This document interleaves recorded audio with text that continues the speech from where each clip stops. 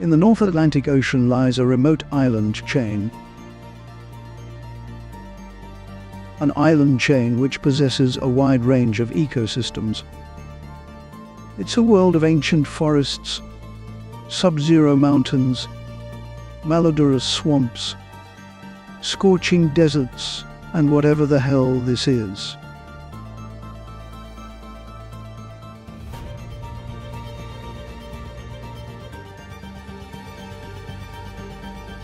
This is a land where humans act just like they would in the real world. A world in which people work, trade, fight, steal, and apparently date. This is Gielinor, a world both magical but dangerously addictive.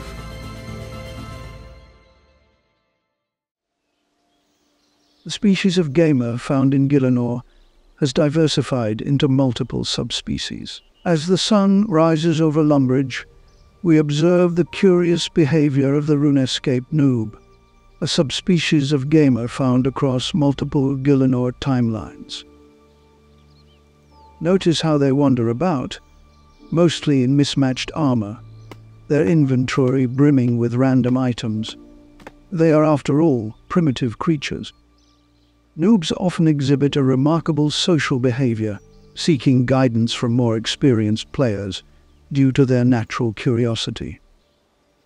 These exchanges are like a form of digital mentorship, where skills are passed down from one generation to the next.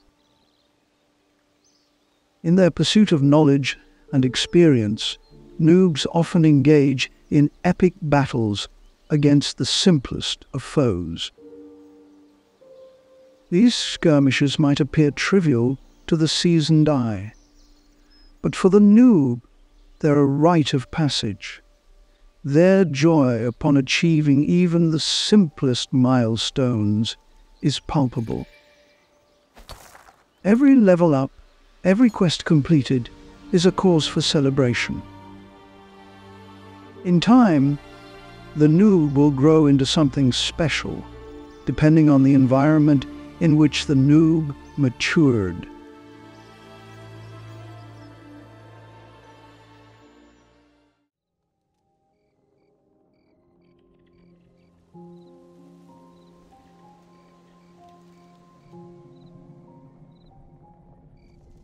The wilderness is a place where echoes of a once thriving civilization still resonate through the decaying remnants of ancient ruins and dark forests.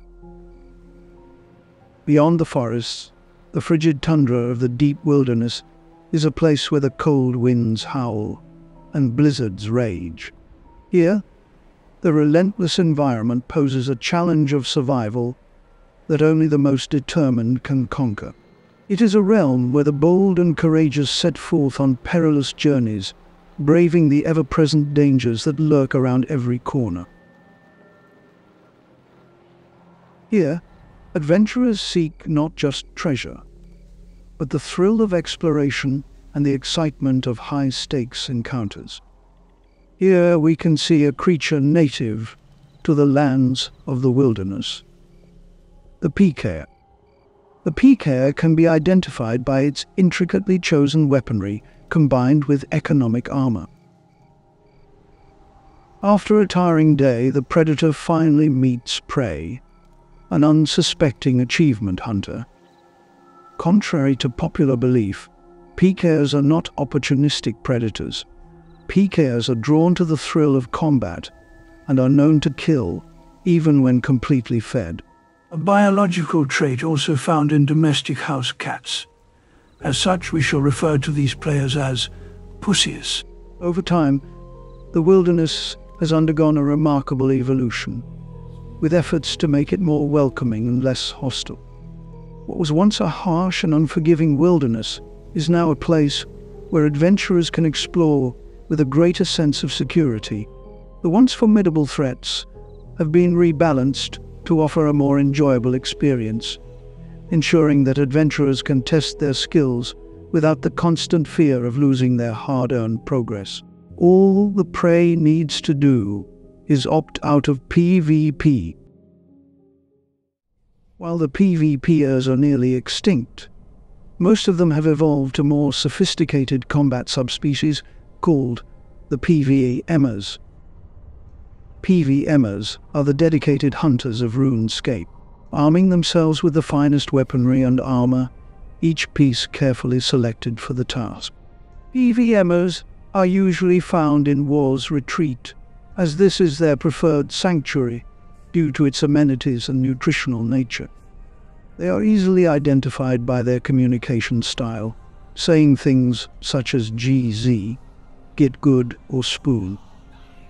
Alternatively, they can be identified by their inability to stay calm after running out of invention charges, ammo, or runes.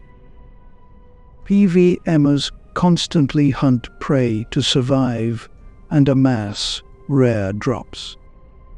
Their unwavering dedication to completing some of the longest grinds is as much commendable as it is a testament to their mental health. Perhaps obtaining rare drops is a coping mechanism, although scientists have not yet pinpointed the exact reason PVMers embark on such extensive journeys. Some PVMers at the top of the food chain take hunting to the maximum and manage to assassinate their prey in less than a second. These are known as speed killers. Other far less confident and far weaker subspecies resort to taking a different approach. Instead of hunting prey by themselves, they have adapted to latch onto more efficient hunters to amass similar accomplishments. It is a delicate but consensual relationship at least most of the time.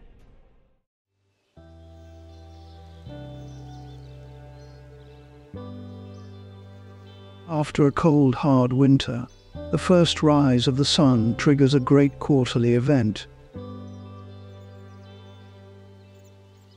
Shoals of skillers move into residential areas. They are gathering to gain experience. In Gielinor, skillers are the guardians of craftsmanship the cultivators of resources, and the silent architects of the world. Skillers turn raw materials into valuable creations, adding depth and value to the RuneScape world. Their tools are their trusted companions as they carve, forge and craft with unwavering dedication.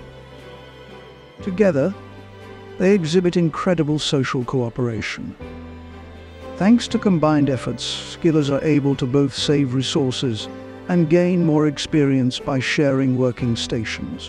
What makes this gathering truly magnificent is that all of this teamwork is done with limited communication between individuals.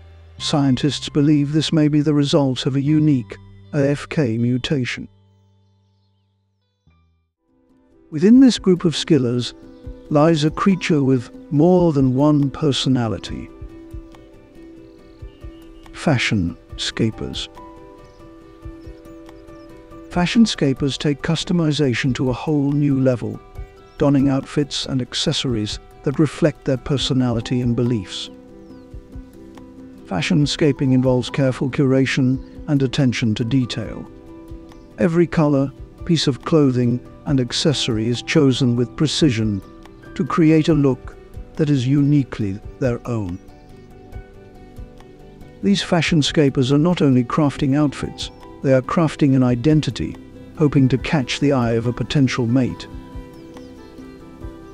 When looking to mate, fashion scapers put on a display of particles. It's a vivid spectacle where colors, textures, and accessories come together to create a mesmerizing display of self-expression.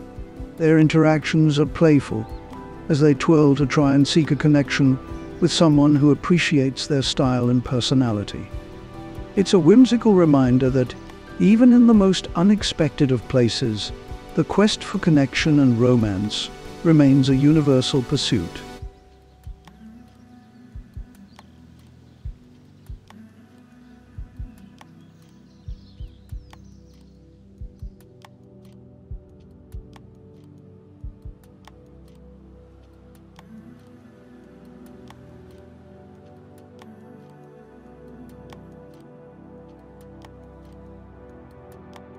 If the budget allows it, we shall cover a special sub-ecosystem of Gielinor in the next episode, the Grand Exchange, a place in which many vile subspecies reside.